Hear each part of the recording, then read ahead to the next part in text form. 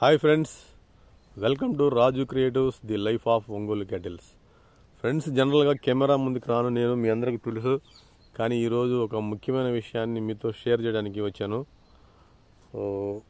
జనరల్గా చాలామంది అడుగుతున్నారు బాహుబలి ఏమైంది ఎక్కడుంది ఎలా ఉంది సో దాని గురించి ఈరోజు మీతో నేను మాట్లాడబోతున్నాను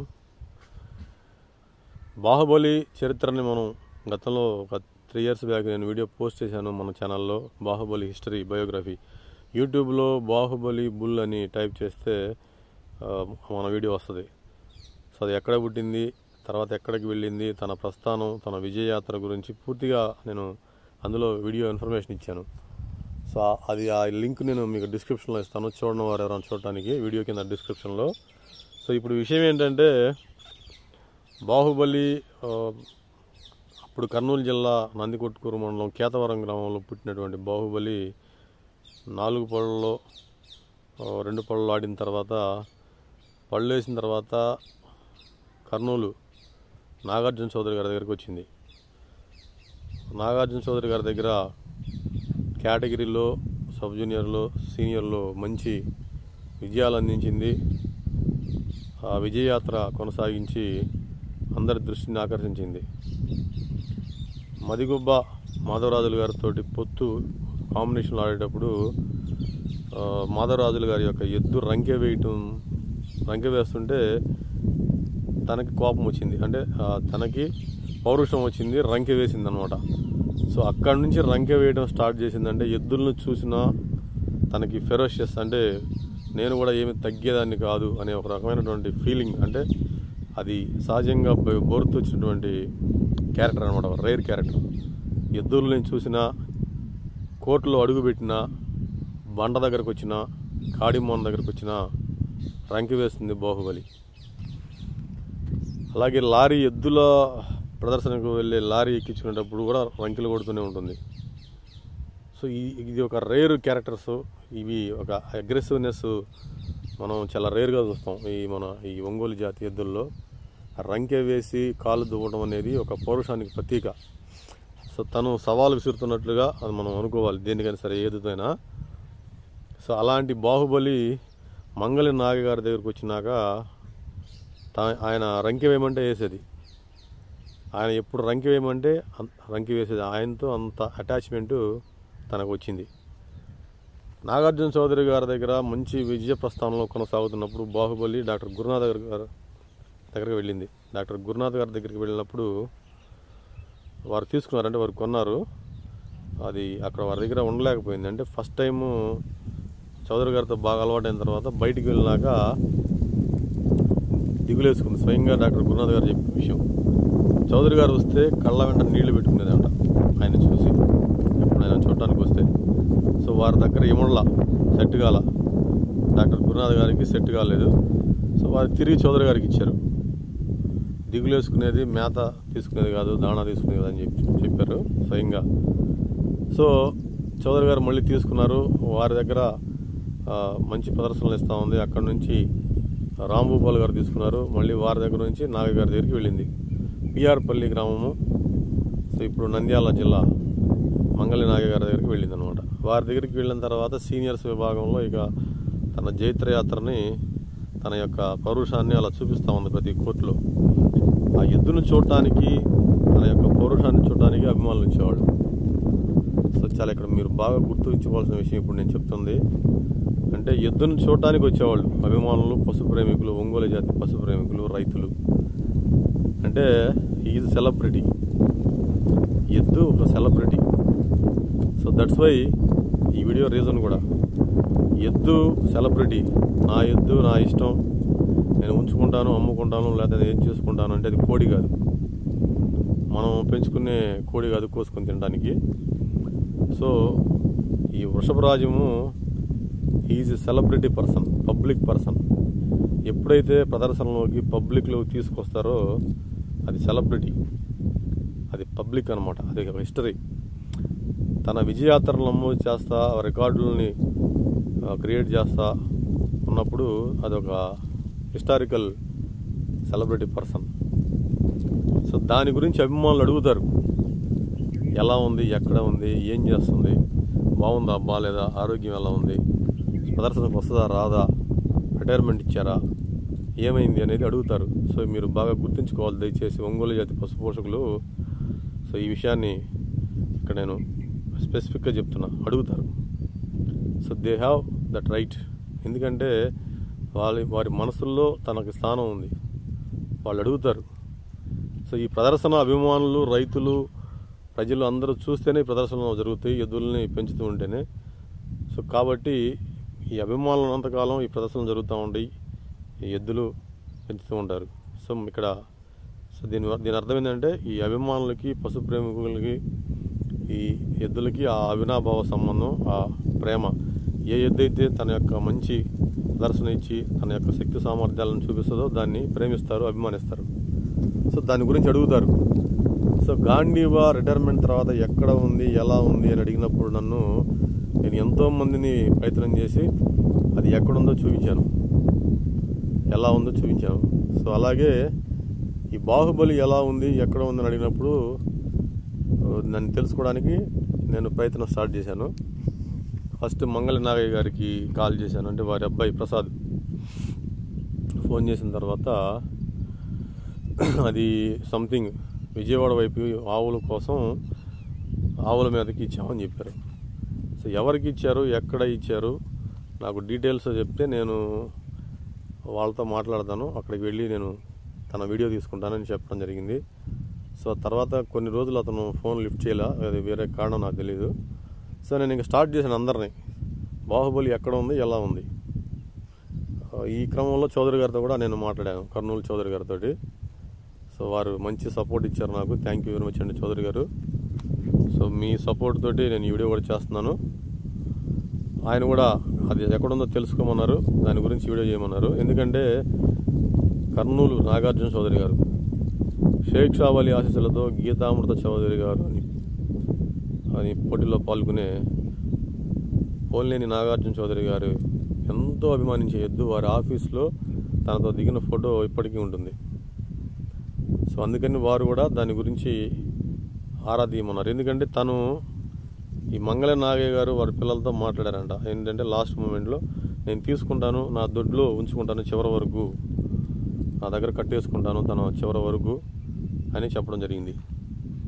ఎలా అయితే కాసనేని రాజా చౌదరి గారు సింహత్యాగిని పెంచుకుంటున్నారో డాక్టర్ గురునాథ్ గారు జొన్నగిరి ఎద్దుని ఎలా అయితే ఉంచుకున్నారో రిటైర్మెంట్ తర్వాత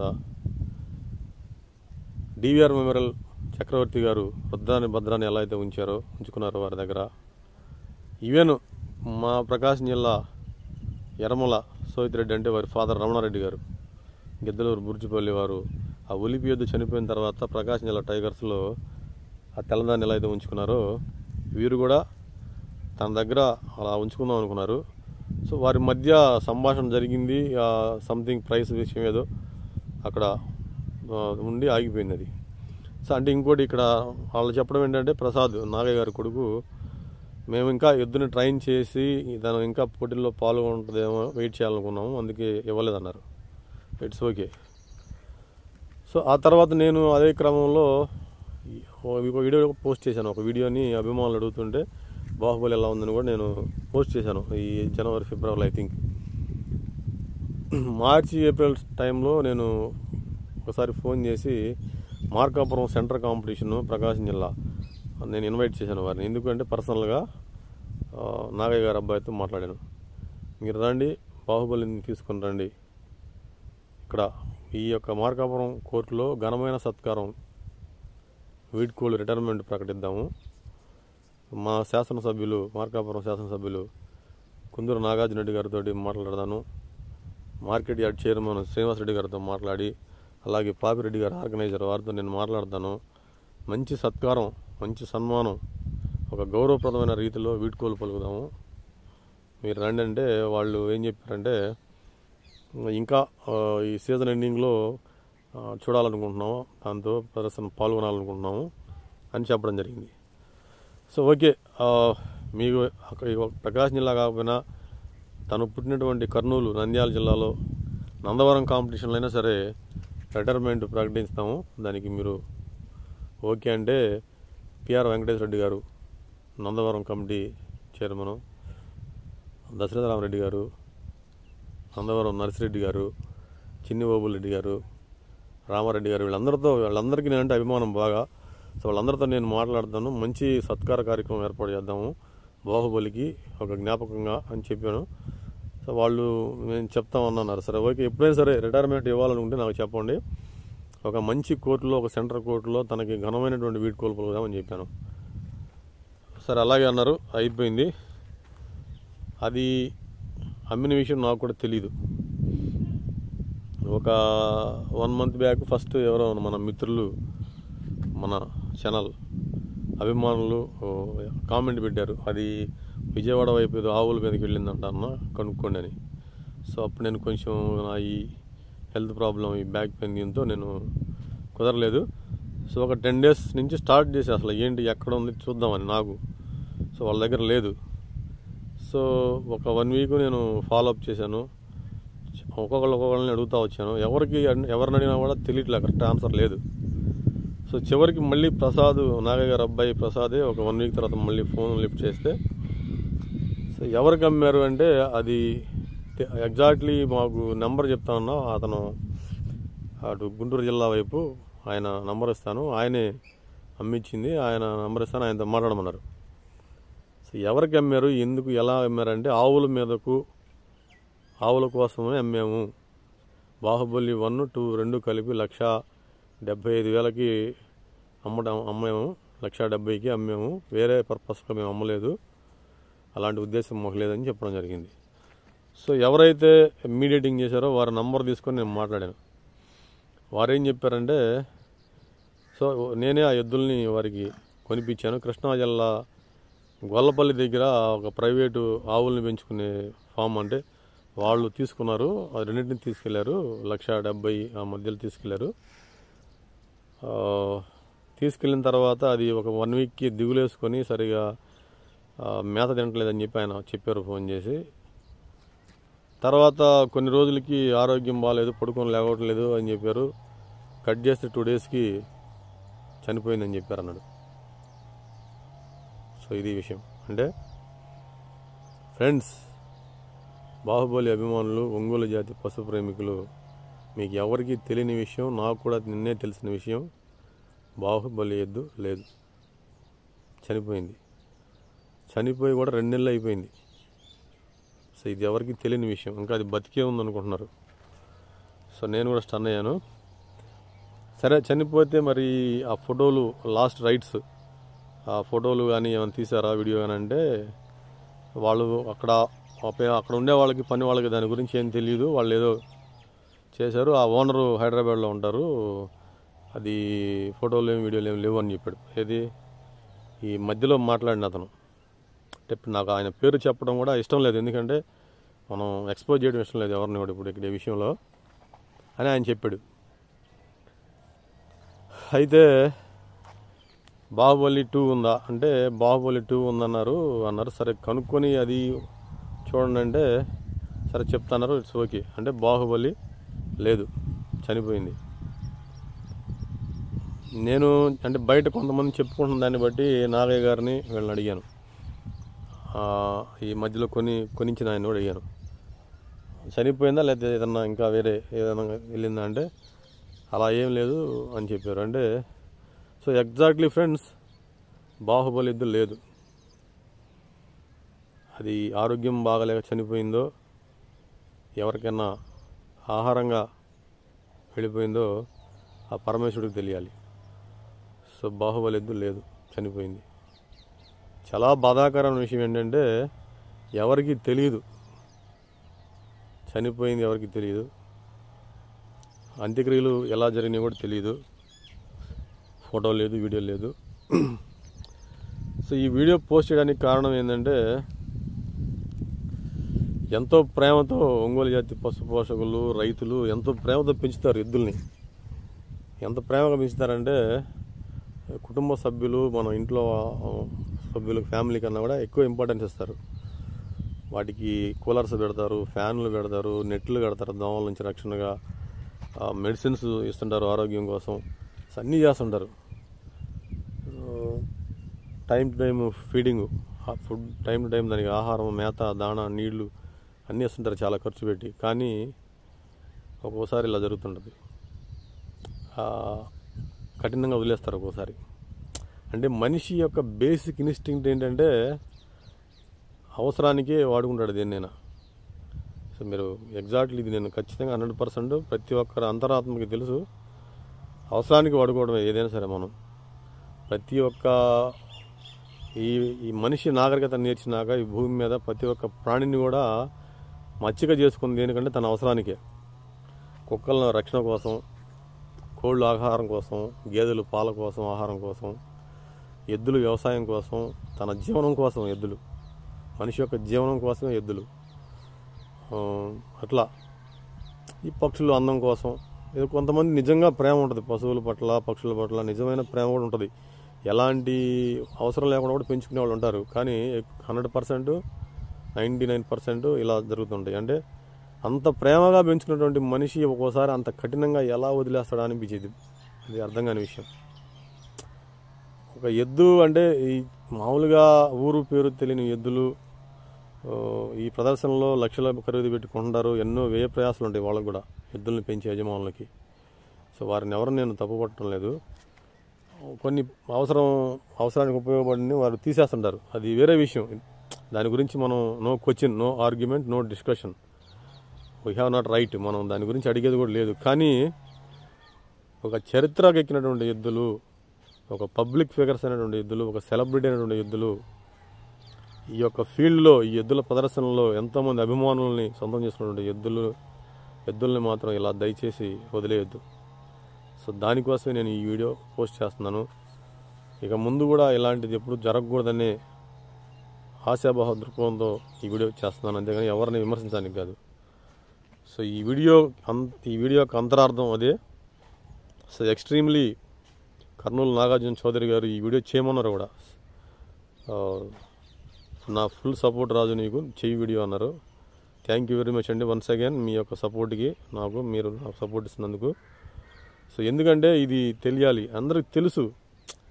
కానీ ఇలా బాధాకరమైనటువంటి పరిస్థితి తీసుకురావద్దు దయచేసి. ఎందుకంటే నోరు లేని మూగజీవులు పెద్దలారా దయచేసి వినండి. మీ అందరికీ కూడా తెలుసు నేను చెప్పేవాడిని కాదు. మనం ఎప్పుడు మేత వేస్తామా ఎప్పుడు నీళ్ళు పెడతామా ఎప్పుడు దాణా పెడతామా అని ఎదురు చూస్తాయి. మనల్ని ప్రేమిస్తాయి. మనతో ఎంత అటాచ్మెంట్ వాటికి ఉంటాయి అంటే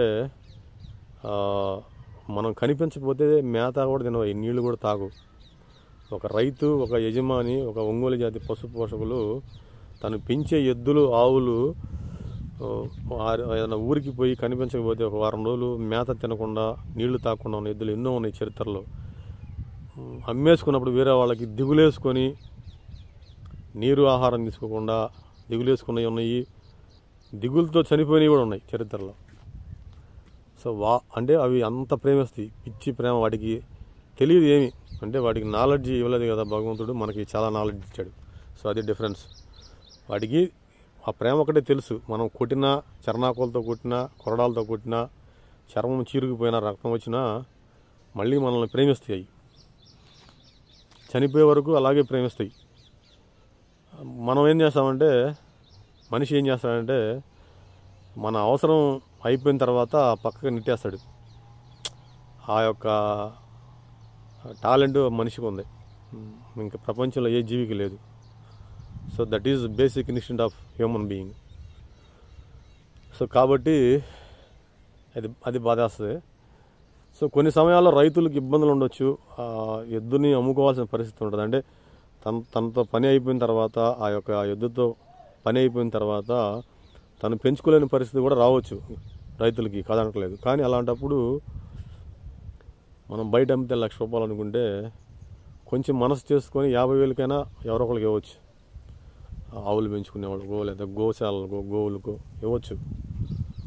సో మనం కొంచెం మనసు చేసుకుంటే దాన్ని కొంచెం శ్రద్ధ చూసుకుంటే. సో ఇది ఇక్కడ ఈరోజు అయితే విషయం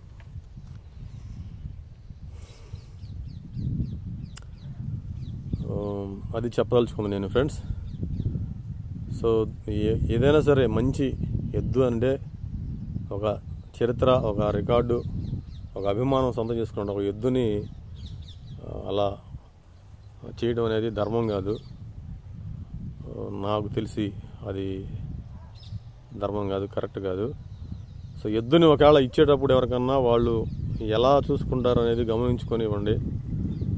ఆవుల మీదకి ఇచ్చినా గోశాలకి ఇచ్చినా లేదన్నా ఎవరన్నా ఉంచుకోవడానికి ఇచ్చినా కూడా అది తన లైఫ్ అక్కడ కంటిన్యూగా సర్వ్ అవుతుందా లేదా అని సో ఇక్కడ బాహుబలి అభిమానులకి బాధాకరమైనటువంటి విషయం ఒంగోలు జాతి పశు ప్రేమికులకి నేను కూడా ఒక ఒక ప్రేమికుడిని బాధాకరమైన విషయం Baahubali is no more Baahubali లేదు. చనిపోయింది. బాహుబలి శివైక్యం పొందింది. ఇది విషయం friends it's very bad it's very bad so ఈ విషయమే చెప్పడానికి వీడియో పోస్ట్ చేశాను. ఎవరిని విమర్శించడానికి కాదు. సో ఇక్కడ ఇంకో ముఖ్యమైన విషయం ఫ్రెండ్స్ ఈ వీడియో చూసిన తర్వాత ఎవరు నెగిటివ్గా కామెంట్ పెట్టొద్దు. మంగళి నాగయ్య గారిని కానీ ఇంకెవరినైనా కానీ నెగిటివ్ కామెంట్ పెట్టొద్దు. వారిని అభినందించండి. ఒక త్రీ ఇయర్స్ బ్యాక్ నేను వారిని వీడియో చేసినప్పుడు వారిని ఎలా అభినందించారో ఎలా ఆశీర్వదించారో అలాగే అభినందించండి. సో ఇది రిపీట్ కాకూడదని నేను మనసారా కోరుకుంటున్నాను. జై హింద్.